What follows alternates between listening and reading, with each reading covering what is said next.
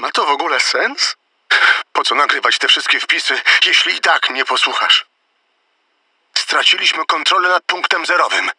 Rozumiesz, co to znaczy? Pewnie nie, bo nie robisz nic. Poświęciłem reżimowi życie.